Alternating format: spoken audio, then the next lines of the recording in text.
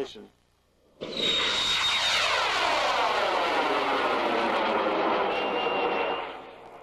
Good whistle. All right, Burl. Nice. Very good. Very nice. This is his level 3 rocket that he used in June on M2400 for a perfect flight. Ejection, and it's dropping. Nice fire. Beautiful flame.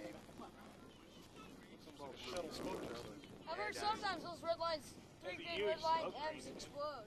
It's a 38, uh, 75 millimeter ones that were exploding. These are fine.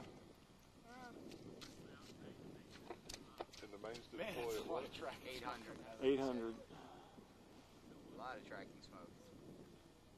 You saw the size of the grain. Yep. Big rain. What does it burn for? A minute and a half or something? Or? About 40 seconds in these in these motors. About 30 seconds on a white lightning. All right,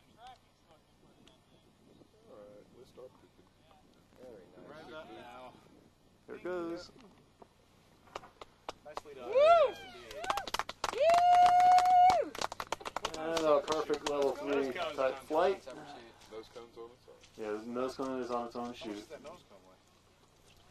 Ten pounds, I think. Eight pounds. There's six pounds of lead in it. Oh man. Wow. In the tree! Yeah, Oh, it's going all the way down.